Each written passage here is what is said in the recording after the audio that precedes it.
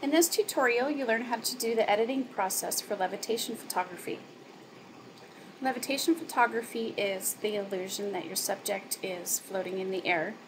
And you start by taking two photos, one with your subject sitting on a chair or a stool or two chairs, depending on how you want to situate them, and another of the same exact scene without your subject or the chair or the stool in it. So it's just the scene itself without anything else in it. And an easy way to do that is to use a tripod so that you can get the same exact photo without camera movement. So when you're done taking the photos, upload them to your hard drive and follow these steps. In Photoshop, File, and Open, and then select the two photos that you took and open them.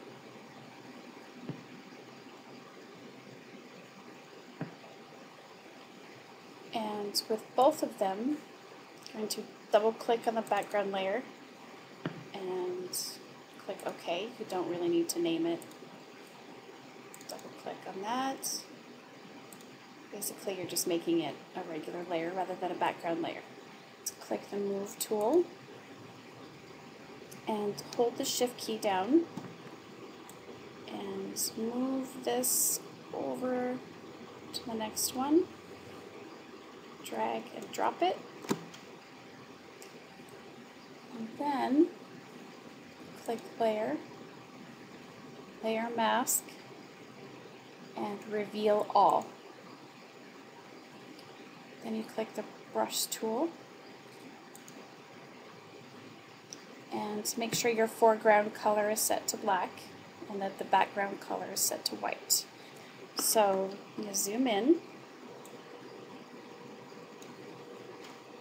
what you're going to do now is erase these stools. And you can change your brush size by right-clicking on the photo and changing the size of your brush. And so you just carefully brush that out.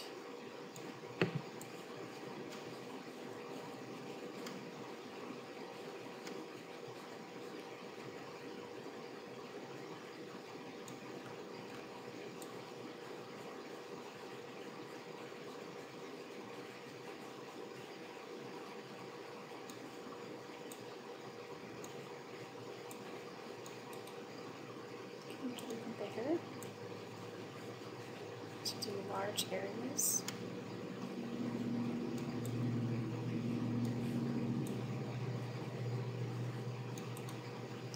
And then you can make it smaller once you get ready to get in closer to your subject so that you don't make as many mistakes.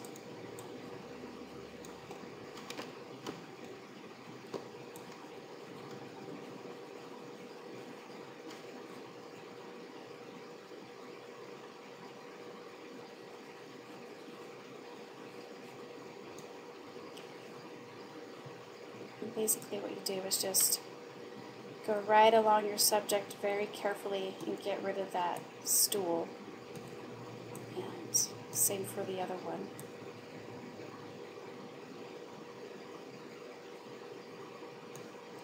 And it's up to you whether or not you want to get rid of the shadow. Um, sometimes it's easier just to get rid of the shadow rather than to have to try and show the shadow without any mistakes. And if you want to get into a pixel level, all you do is zoom way in, make your brush size pretty small, and just go right along your subject very carefully to take out any of those little details.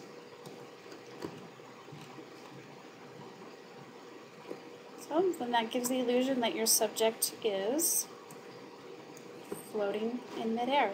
And then if you make a mistake, like say you accidentally, you know, go on your on your subject and, and erase them, you can just push the X key and see how it switches between black and white when you push X.